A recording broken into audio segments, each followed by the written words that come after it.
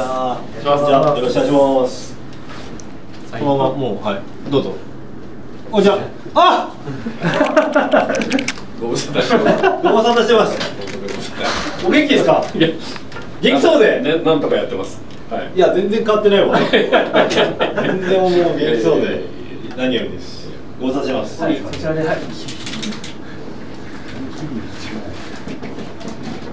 がとうございます。シューズ袋はねいいんですよ。いやマジで。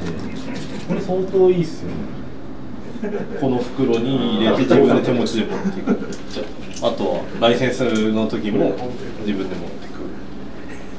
この袋とかもシューズのそのブラシとかクリーナーとか自分でやってますからね。当然ですよ。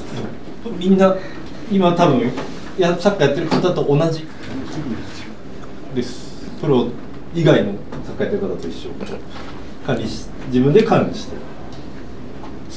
やってるだから俺も大学生以来自分で磨いたりとかしてやってます。ね確かに懐かしい作業って感じです。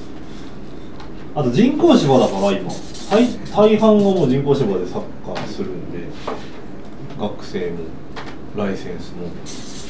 だからソールが黒い。あとそうソールが減らない。毎日別にやってるわけじゃないんで減らないですよね。そう女子とはもう幅広くやってサッカーじゃないところ。うん。ねそっちもそうですよね。頑張ってます。ねすごいですよね。人が良さそうなのが出てるんでね。なんとなく、あのサッカーで荒いところが。と現役時代ね、そんなんだったのって 思うレベルですよね。キャラがいや、どっちかってあっち側だから素なんですよ。今のテレビで見てるこうニコニコしながら優しいのが大久保です。別に入る時だけすごい。ちょっとこうガッてなる。だから結構ギャップがねありますよね。よし。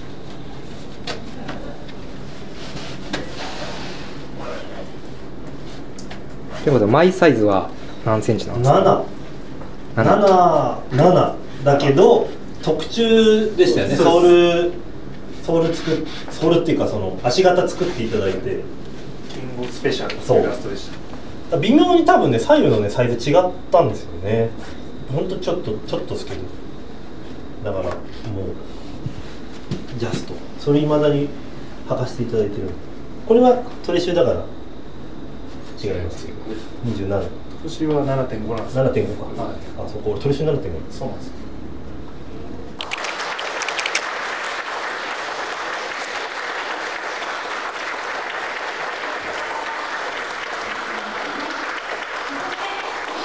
お座りいただきまして、えーお話をえー1986年に、えーメキシコでワールドカップがありまして、でその時に、えーブラジル代表のカレッカという選手が、えーこのモレリアを履いて、えー出場するでその最初のゲームが6月1日に、えースペイン対スペインの試合で行われてその時が、まあ、一応6月1日だったのでその日をあのモレリアの日にしようということ。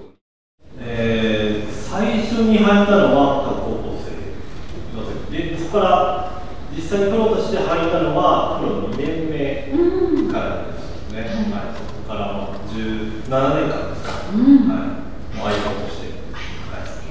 えっと、2021年の1月1日元旦の天皇決勝の時に水野さんからぜひということであのいただいてで試合の時は通常の自分の、おモレネツ入ったんですけど、もう表彰式のところからこれに書き換えて最後あのサポーターの皆さんの前で挨拶して終わったっていう、まあ、一人生で最後プロサッカー選手としての生活の最後に入った。使い方です。プレイヤーファーストだと思うのでプレイヤーが一番やりやすい形にオーダーしてもらって作るのが自分のなっていうのを認識されたので、だから僕はありがたい感謝しかなかったですね、だからこの毎回こう注文するためにこう回転されてくる、おおおそらく僕が折ったんですよね、でも折ってつけたのが僕だと思うんですよね、これ。で、僕が折って離れないようにしてくれてたんですなんでかというと、この、右じゃなん、まあ、右に打つときに、これまでこうついてない。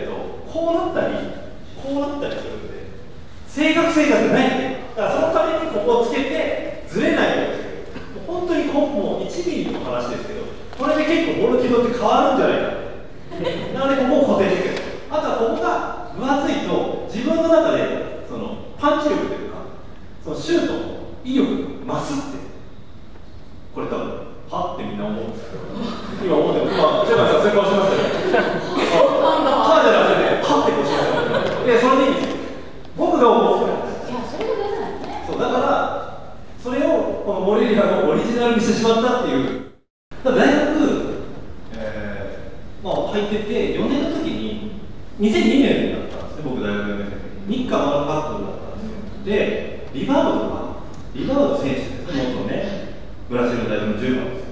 が履いてたシューズを僕履いてたんですよ。うん。ウェルカムそうウェルカップ。めちゃくちゃ良かったんですよ。めちゃくちゃ良かった。うん。まあ、健吾さんが、まあ、中大の時にね、あの実はあのこういう面白い選手がいるんだけどって、まあ、あの紹介した社員がそこに流れてますけど、僕にね。で私もその頃から注目してまして、でなんで注目してたかというと、まあ、モレリアを履くキャラクターっていうのを、まあ、作り手としてはいつも探してるわけですよ。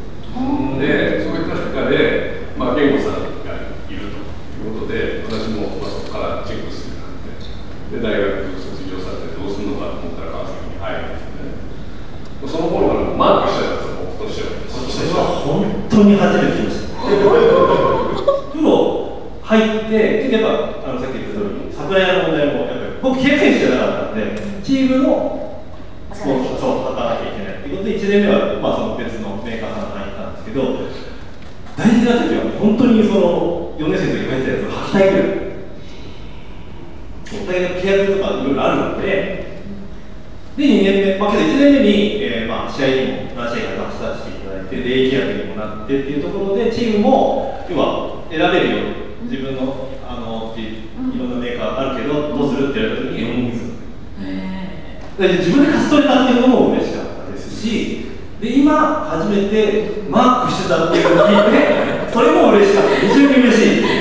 はもう引退して数年後に知るとい。いや、本当に2年とそうですね、3年初めて知りましたからね。はいなぜ今まで誰も言ってくれないいや、本当ですよ。言ってくれてもいいじゃないですかね。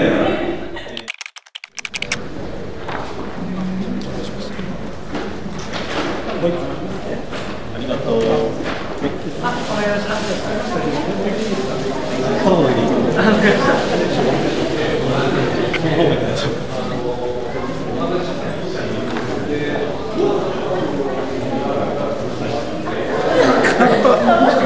えいいの？書いて。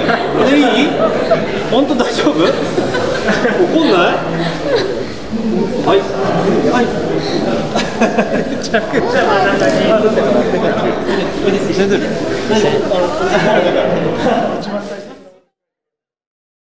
僕はこのカラー配色でもうずっと来たんで息子は白を履くっていう謎の現象が 今ここだけの話ですはい父親黒だから息子も黒だと思うんですけどなぜか白履いてる。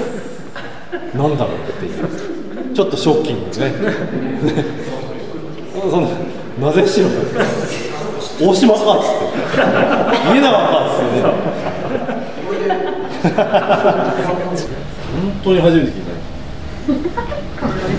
本当に。なぜそんな早く言ってくれる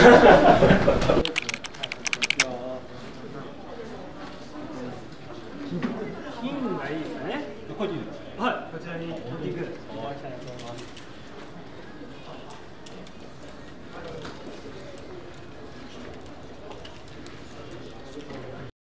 本当にモレリア愛のあふれる時間だったなっていうふうには思いますね。本当にあの水野の皆さんもそうですし、まあ、それね安井さんもそうですけどあとは来ていただいたお客さんもそうですし皆さんがモレリア愛モレリアに思いを馳せる日だったなって、まあ、だからモレリアの日なんでしょうね。ハッシュタグ。はい、まあ、僕もあのこの後 SNS でしっかりモレリア日をつぶやろうかなと、はい、思います。本当にあの楽しい一日でした。ありがとうございました。あとは編集がどうなるか。交互期待